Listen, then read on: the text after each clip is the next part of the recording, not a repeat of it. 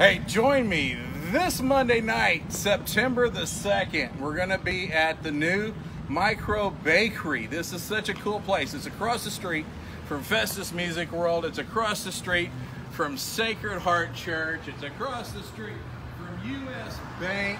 A great addition to Festus Main Street. This is an unbelievable restaurant. Family owned. It's only been open since April or maybe May of 2019. You got to come check this place out. Be sure and watch the video this Monday night, September the 2nd.